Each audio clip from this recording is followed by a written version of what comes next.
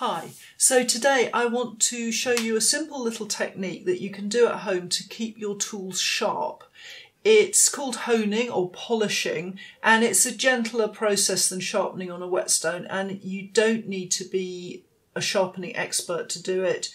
It's a gentle method so you won't damage your tools but you can greatly improve them. It's also something that you should be doing to new tools before you use them, and I'll explain why in a second. But let me show you first a new tool and then a tool that has been honed or polished, like I'm going to show you.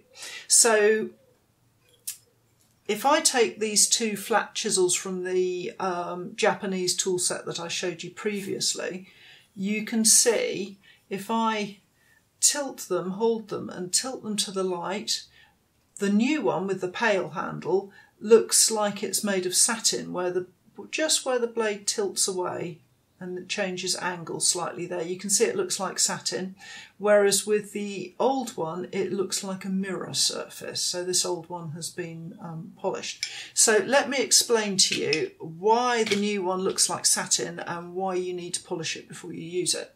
So I have some excellent drawings here. So when you buy a new blade, uh, a new cutting tool, it will look like satin because it's been sharpened, so it'll be razor sharp, but there'll be lots of little micro ridges in, in, the blade where it's been sharpened. So it'll be lovely and sharp to start with. You'll start cutting and it'll go blunt quite quickly. And that's simply because as you cut, you knock all those little ridges off and so it goes blunt quite quickly. By polishing it, like I'm going to show you, you take away all those little ridges and the tool becomes completely smooth and so it stays sharp for longer. As you use it, like this, this bit here with the um, old section, you will put your own little dings and ridges into it as you're cutting and this honing technique will polish those ridges away as well and keep the tool sharper for longer. So to give you an idea, I do a lot of teaching and I hone the tools after every class or every other class and we sharpen the tools on a stone maybe once or twice a year. So the, the honing process is really actually very efficient.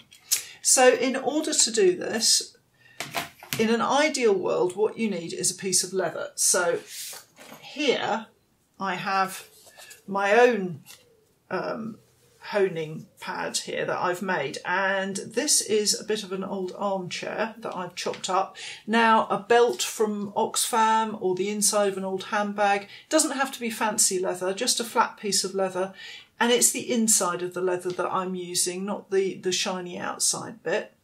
So what I've done here is I've, I've stuck it down to a sheet of MDF to keep it flat. I don't want it to wrap around the tool. I want it to lie flat, so I've stuck it there. If you are really stuck, then you can improvise. So again, here I've got a belt and I'm going to show you a sort of self-isolation version of polishing as we go along. So we'll go back to this one. The other thing that you need um, is stropping paste or honing paste or honing compound. It's got several names. Think of it like gritty toothpaste.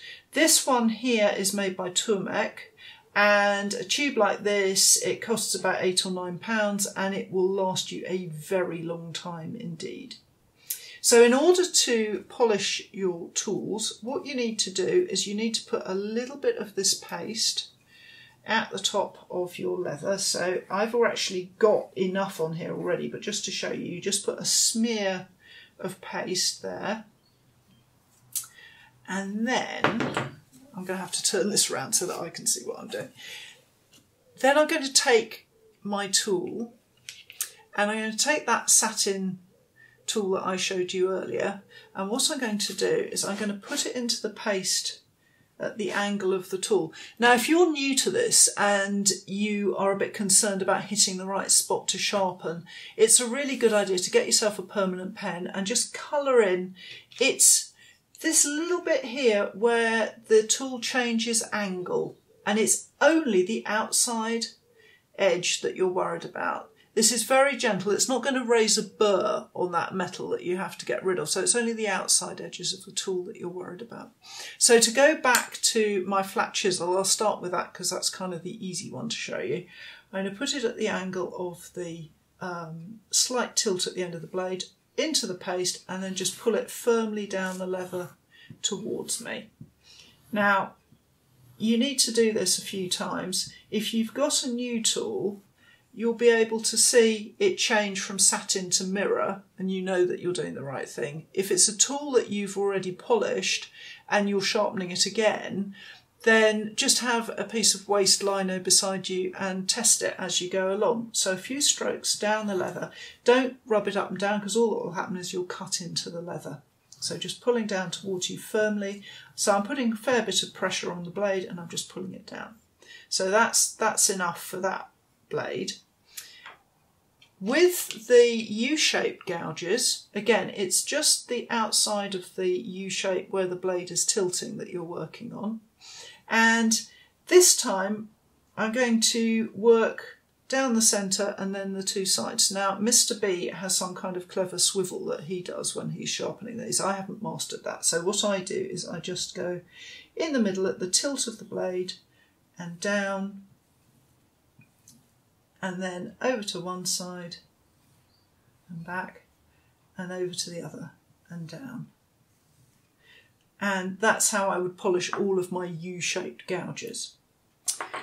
V-shaped gouges are trickier because basically with a V-shaped blade, what you've got is you've got a profile like that and what you don't want to do is turn it into a U shape and lose that V. So the best way of approaching sharpening the V tool is to treat it as two flat chisels and do the sides separately. And I find it much easier to turn my uh, piece of leather at an angle and I treat one side flat.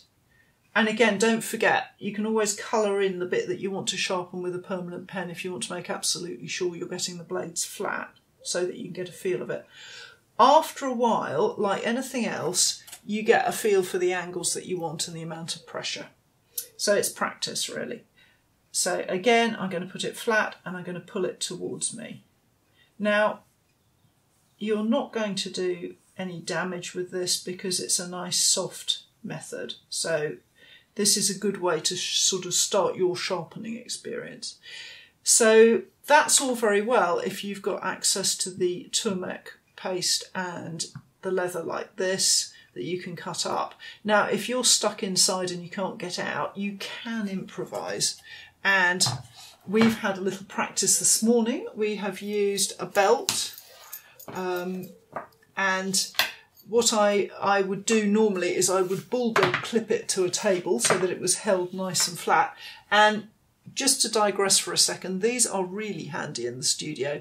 These are um, butterfly clips and I bought them off a market stall in my local market, but you can get them online. They're kind of like bulldog clips on steroids. They're quite handy things to have. So um, I'm just going to clip that to the table to hold it still.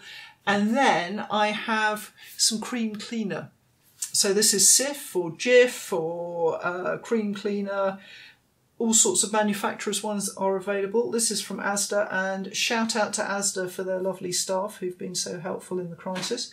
Um, so I'm going to use their cream cleaner and I'm just going to put a little bit onto my piece of leather like so. And I'm going to go back to my tools and just do exactly the same thing. The only difference now is that it's lemon scented. So that's working really quite nicely. So if you're stuck and you have some of this stuff, that's great. The other thing um, that you can use is if you are a car buff and you have some uh, cleaner for chrome, the stuff that polishes chrome is pretty good for this too.